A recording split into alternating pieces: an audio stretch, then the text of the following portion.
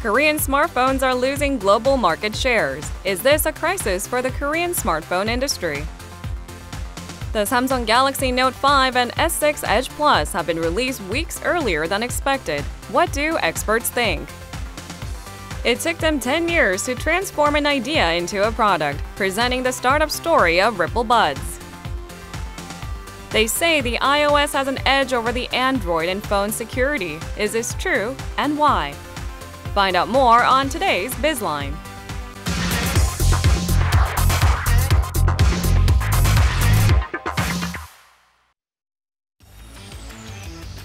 A tidal shift is taking place in the global smartphone industry.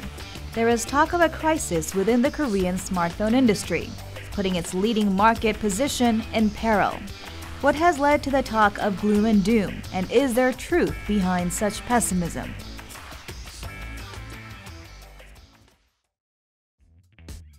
On August 13th, Samsung Electronics unveiled its flagship products for the second half of 2015 Galaxy Note 5 and Galaxy S6 Edge Plus.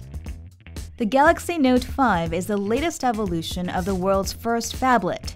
It is thinner than before, but with a larger 5.7 inch screen and equipped with Samsung Pay and an all new S Pen. Just a week after the unveiling, Samsung unleashed the new phones to the market, starting with Korea on the 20th. 생각보다 가볍고 얇아가지고 손에 잡기 편했고요. 뒷면이 메탈이다 보니까 반짝반짝해서 예뻤어요. Samsung also broke from the practice of releasing its new products in early September at the IFA in Berlin, Germany. It has released its phones almost a month earlier than Apple, which usually releases new iPhones in September. In another unprecedented move, the prices have been lowered in comparison to earlier premium smartphones. While competition between smartphone producers is heating up, growth in the market is cooling off. A total of 340 million smartphones were sold in second quarter this year, a year on year growth of 15%. This is the lowest growth rate for the smartphone market in six years. 우선 글로벌 스마트폰 보급률이 많이 올라와 있는 상태입니다. 한국 스마트폰 보급률이 이미 70%를 넘어 있는 상태이기 때문에 시장이 어느 정도 포화되어 있는 것은 사실이고요.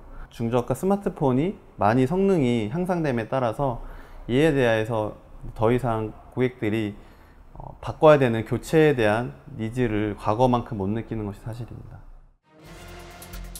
According to the market research company SA, although Samsung Electronics maintained top market share for smartphones in Q2 of 2015, its proportion had dropped significantly. At 21% of market share, it represented a 4.1 percentage point drop since Q2 last year. On the other hand, Apple's market share grew 2.1%, while Huawei, Xiaomi, and Lenovo have taken nearly 20% of combined market share with their low to mid range products. Does this spell crisis for the Korean smartphone industry? There are two differing views on this. The reason why smartphone giants such as Samsung and Apple were able to dominate the market was the immense gap in technology. Now, technological innovations have almost reached a wall, and the new entry is becoming easier and easier. There are those who see Samsung as being sandwiched, unable to compete with Apple in the premium segment and unable to differentiate its products from mid to low range offerings from latecomers. 아무래도 중국 스마트폰의 성장세가 지금 무섭습니다.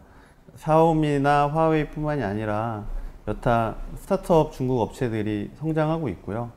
또한 그들이 가격적인 측면에서 한국 스마트폰 업체들을 위협하고 있기 때문에 이러한 측면에서 봤을 때 글로벌 시장에서 한국 스마트폰 제조사가 위협을 받고 있는 것이 사실입니다. Huawei, which has risen as the world's third largest producer of smartphones worldwide after Samsung and Apple, recorded sales of almost $7.2 billion in the first half, growing 87% year on year. On the other hand, sales were disappointing for Samsung and LG, which both released flagship models in Q2. Operating profits for Samsung grew a dismal 1% compared to the same period last year. On the other hand, there are those who see this as a temporary drop in sales. They see this as a failure of the flagship phones put forth by Samsung and LG in Q2, Galaxy S6 and G4. LG 같은 경우는 여전히 디스플레이와 카메라 모듈에선 세계적인 경쟁력을 보유하고 있고요. 삼성 같은 경우엔 반도체 메모리라든지 핵심 APU에서 핵심 경쟁력을 전부 보유하고 있기 때문에 지금은 제품 설계 방향이라든지 concept에서의 오류를 약간 부진을 겪고 있는 것이고요. 결국 그 경쟁력을 제대로 이용하기만 하면 언제든지 다시 또 상승세로 접어들 수 있으리라고 봅니다. What's clear is that smartphone giants, which used to lead the market in the past, now have to re examine their strategies and show more innovativeness. This is true for Korean companies and worldwide players. What will be the strategies adopted by Korean smartphone makers in the future? Experts say that Korean smartphone makers should focus on design, utilizing capabilities in semiconductors and hardware as their innovation strategy for the future. Korean smartphone makers now have to enhance the design value of their products, a traditional weakness, while utilizing their strengths in semiconductors and hardware.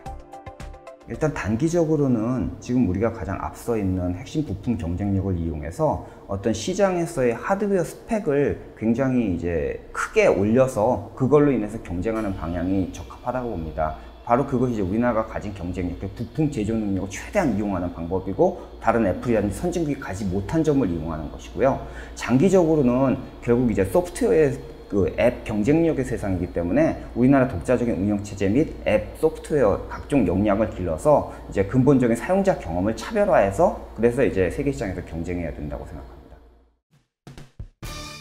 There is also the need to modify their current lineups to respond to changes in the market. According to Forbes, while Samsung is responding by beefing up both its premium and mid range lines, this will only lead to increased price competition and marketing costs in the smartphone market. 단지 중저가 폰이라고 해서 프리미엄 폰에서 기술 몇 개를 뺀 중저가 폰을 많이 출시하는 것이 좋은 것은 아니라고 생각합니다. 고객들의 라이프 스타일이나 생활 패턴들을 좀 더 다각적으로 분석하고 이에 맞는 스마트폰을 다양하게 출시를 하고 이것들을 고객에게 더욱더 실감나게 어필할 때 현재 스마트폰 위기에서 벗어날 수 있는 기회가 나타날 것으로 생각하고 있습니다. In September, Apple will release its next smartphone model, the iPhone 6s. Xiaomi and Huawei too have new models to heat up competition in the smartphone industry. There are no eternal victors in the competitive world of smartphones. Let's see if Samsung's first move could become the springboard for its glorious comeback.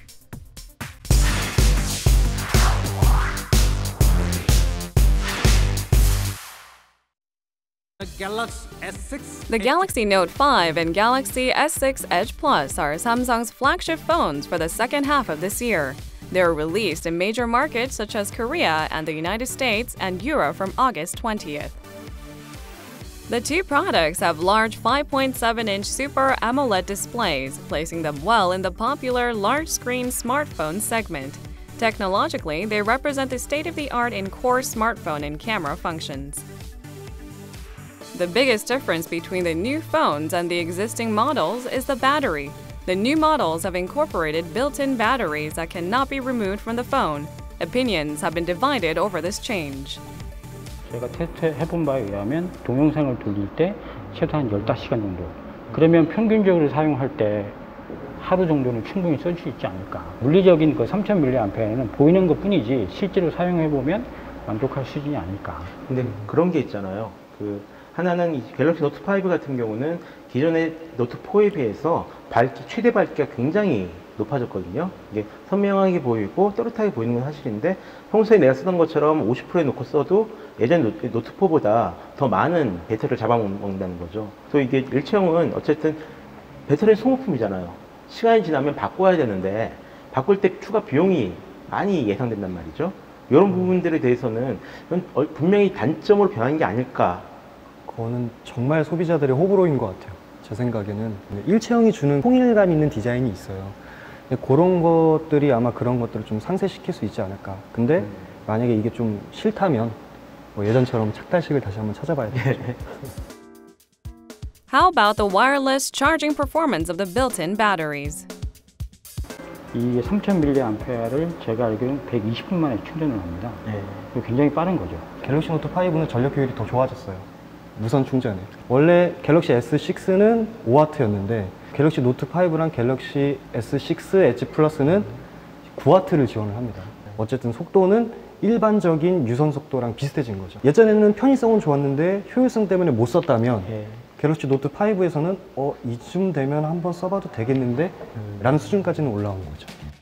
Another much discussed issue was the incorporation of Samsung Pay into the Galaxy Note 5 and Galaxy S6 Edge Plus for the first time ever.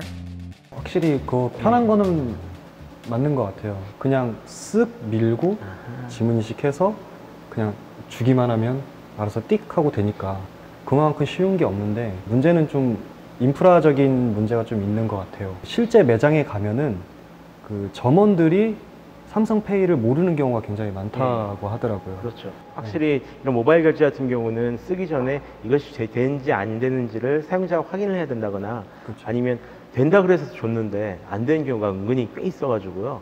이런 부분들에 있어가지고 어떤 사용자 편의성을 확실하게 보충하지 않으면은 확산에는 약간 시간이 걸리지 않을까. The two products have also been enhanced in their respective specialized functions. First, the Galaxy Note 5 has improved upon the S Pen, offered only with the Note series. 일단은 S펜 자체는 성능이 굉장히 많이 개선된 거는 맞는 것 같고요. 저도 실제로 써봤을 때는 굉장히 만족할 만한 예. 수준이었고 또 포- 펜만 뽑으면은 꺼진 화면에도 바로 메모를 할 수 있기 예. 때문에 어떻게 보면 접근성은 예전보다 훨씬 더 좋아진 것 같아요. 엄밀히 따지면 예. 그 화면 꺼진 메모는 아니죠. 그래서 자세히 보면 그 UI가 보입니다. 예. 그리고 실제로 꺼내고 나서 이제 잠금 버튼을 누르면 실제 이렇게 필기는 안 되거든요. 예. 그러니까 꺼낼 때와 연동되는 거죠. 그렇죠. 네. 근데 아이디어는 괜찮지 않았어요? 그죠. 예. 그러니까 아이디어는 유- UX 측면에서 보면 좀 신선한 감도 있죠. 그 이번에 이슈가 되는 게 펜을 거꾸로 끼면은 예. 안 빠진다고 하더라고요. 그러니까 그런 어떤 눈에 보이지 않는 옥의 티도 있고 그런 건좀 개선했으면 좋지 않았을까. Then the Galaxy S6 Edge Plus, which has a larger screen, has an added function that makes the user's favorite apps much more accessible in the Edge screen. However, the consensus was that other functions were more or less the same as its predecessor. 어, 크기 빼고는 그렇게 달라진 건 없어요. 그냥 5.1인치에서 5.7인치로 늘어났어요. 이거는 어떤 기기상의 변화가 있다라기보다는 아 5.1인치가 좀 작았어. 예. 아 좀 난 좀 큰 거 쓰고 싶었는데 좀 아쉽다. 라고 생각하시는 분들이 이번에 5.7인치 플러스 모델을 사시면 될 것 같아요. 큰 폰을 좋아하는 것 같아요, 우리나라 사람들은. 이제 그런 사람들을 위해서 좀 내놓은 것 같고, 조금 차별을 두려고 한 게 이제 앱스 엣지라는 어플인데요. 이거 같은 경우에 이제 자주 사용하는 어플을 몇 개를 이제 예. 나열해 놓고 이렇게 조건성을 이제 좋게 한 건데, 그걸 빼면 말씀하신 것처럼 별 차이는 없죠. 근데 막상 제가 한번 써보니까 실제로 일반적인 이용자들 같은 경우가 스마트폰에서 자주 쓰는 앱들은 많지 않잖아요. 보통 한 다섯 개, 여섯 개, 많아야 열몇 개 정도로 이제 고정이 되어 있는데요. 그런 부분들을 미리 딱 세팅을 해놓고 쓰면은 어느 정도 편하긴 할 것 같더라고요. Finally, it was pointed out that Samsung still has to work on developing software that can bring its state of the art hardware technology to life. 더 혁신이 없다라고 하면 맞는 말이에요. 하지만 이 제품들이 그렇다고 해서 못 맞는 제품이냐? 아니고 오히려 굉장히 잘 맞는 제품들이거든요. 하드웨어 다- 외에 매력을 줄 수 있는 포인트가 또 어떤 것이 있을까? 여기 대해서는 삼성이 조금 더 고민을 해봐야 되지 않나. Reception to the Galaxy Note 5 and Galaxy S6 Edge Plus has been hot, with 100,000 units sold in just one week since their market launch. As reviews of their strengths and weaknesses keep pouring in, consumers are much better equipped to make their proper choices.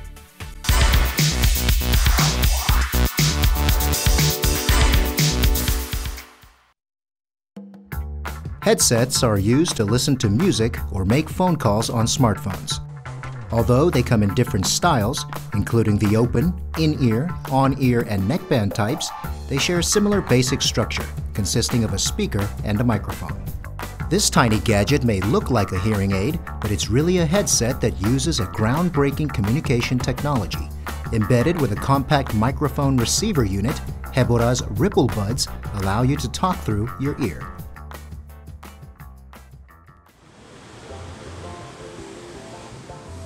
When you are talking on the phone in a noisy area, outgoing sound is often masked by surrounding noise.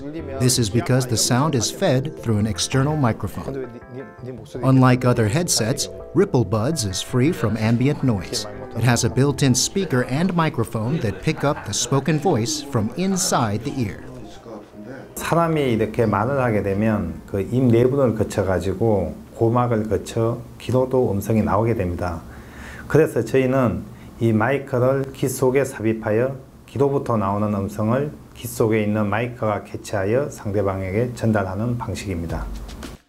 The sound that comes from the throat travels through the eustachian tube into the eardrum. This is why Ripple Buds, essentially an earbud microphone, delivers clear sound while cutting out unwanted ambient sound in the process. 제가 그 15년 전에 일본 전시회에 관람을 하였습니다. 그때 우연히 이 기도도 음성이 나온다는 사실을 알게 되었습니다. 그래서 아 그러면 이 귀 속에다가 마이크를 집어넣게 되면 이 소음 환경에 구애받지 않고 깨끗하게 내 목소리가 전달될 수 있구나 해가지고 그때 이 아이디어를 얻었습니다. But turning the idea into reality was not easy. At the time, the technology was not available to make it work.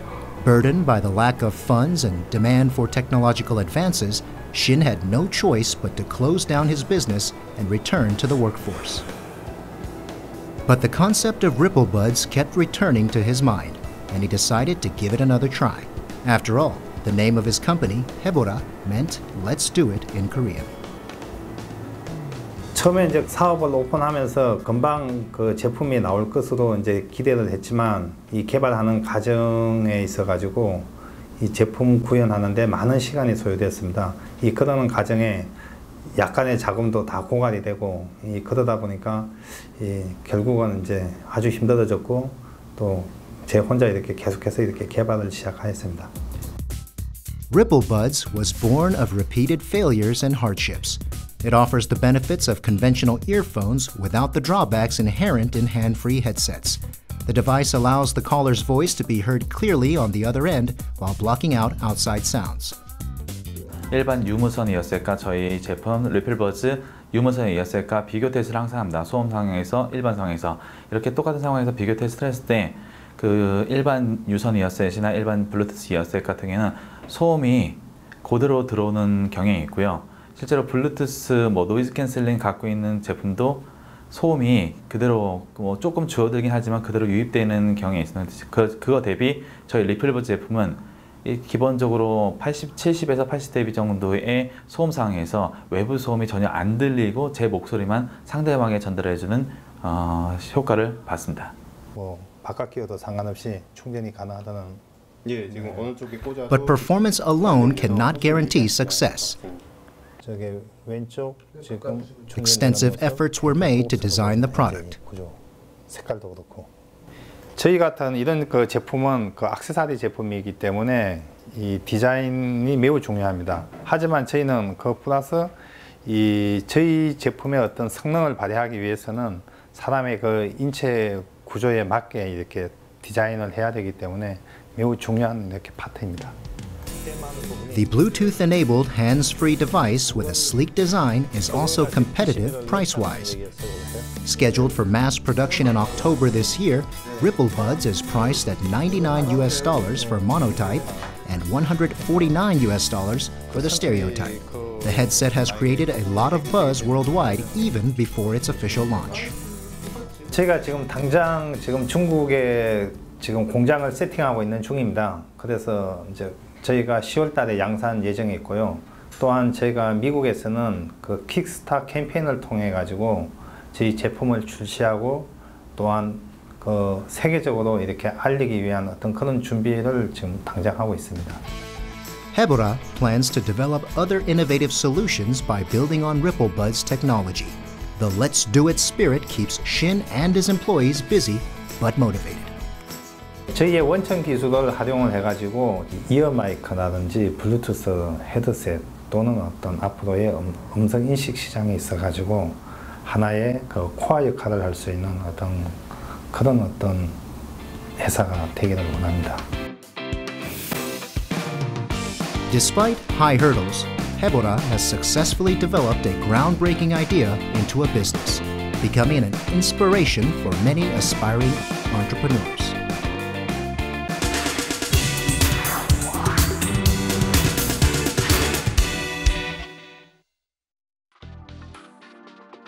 Smartphones have become an indispensable part of our daily lives. Despite the conveniences they provide, smartphones pose a security risk as they are a prime target for criminal hackers. One of our question box viewers sent in a question about mobile security. 기사에서 보니까 iOS가 안드로이드보다 보안적으로 안전하다고 하던데 그게 진짠가요?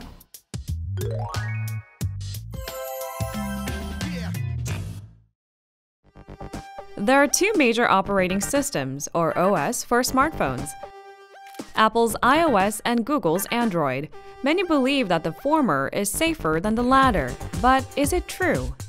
We visited a local firm specializing in security solutions for Android based smartphones. One engineer helped us create a malicious application for smartphones. It took him less than a minute to get the job done. When installed, the app immediately gathered personal data from the phone, including contact information. 지금 현재 구글에서 그냥 뭐 어, 안드로이드 decompile이라든가 이런 식으로 치게 되면은 굉장히 그 소스 코 그런 어떤 소스 코드를 유출할 수 있는 tool들이 굉장히 많이 나와 있습니다. 어, 굳이 프로그램을 잘 하지 못하더라도, 못한다 하더라도 그리고 어떤 해커의 그 기술이 많지 않다 하더라도 누구나 쉽게 따라하고 똑같은 앱을 어, 만들다거나 그리고 아니면은 그 앱에 어떤 소스 코드를 하나 한 줄을 더 넣어서 어, 사용자의 어떤 정보를 취득해가는 이런 거는 굉장히 간단한 방법이라고 생각합니다. Android OS is more vulnerable to security breaches and hacker attacks than iOS, but why? 여러 가지 차이점 중 가장 큰 차이점을 들자면 iOS는 폐쇄성을 지향하고 안드로이드는 개방성을 지향한다는 점입니다. iOS는 애플이 만든 CPU에서만 동작하도록 설계되어 있고 안드로이드는 모든 모바일 CPU에 동작할 수 있도록 설계되어 있는 것이 특징입니다. 앱을 설치하는 것 또한 iOS는 탈옥을 하지 않으면 대부분 앱스토어를 이용해서 앱을 설치할 수 있는 반면에 안드로이드는 다양한 앱 마켓은 물론 직접 파일을 모바일에 설치해서 프로그램을 설치할 수도 있습니다. 이와 같은 방식은 사용자에게 편리성을 제공해 주는 반면에 보안성으로는 취약할 수 있, 다고 말씀드릴 수 있습니다. The biggest difference between the two OS lies in the level of openness. All iOS apps need to be approved by Apple before hitting the App Store. During this process, malicious or suspicious apps are screened out. On the other hand, Android is an open platform where anyone can develop and distribute apps. The openness of Android creates increased safety risks, but one developer says the two platforms have their own set of pros and cons. 장단점이 다 있거든요. 일단 안드로이드 같은 경우는 개방적이고 되게 범용적인 이제 그런 어떤 이제 컨셉이 OS다 보니까 사실 어, 다양한 기능을 좀 이제 구현할 수 있고요. 자신의 어플리케이션에. 반면에 이제 iOS 같은 경우는 어떤 특정한 제약을 둡니다. 핵심 그 OS 기능에 뭐 어느 부분은 접근할 수 없게끔 예, 그런 식으로 제한을 둬서 사실 어, 다양한 그런 어떤 기능을 구현하는 앱을 구현하는데 조금 제약이 따를 수 있습니다. iOS and Android also differ in their responses to security breaches. Security patches for Android are developed by each smartphone maker, whereas those for iOS are solely issued by Apple. Then is iOS 100% secure from viruses or hackers? 어, 아이폰은 백신이 없잖아. 그런데 안드로이드는 백신이 있잖아. 그러니까 안드로이드가 더 취약해.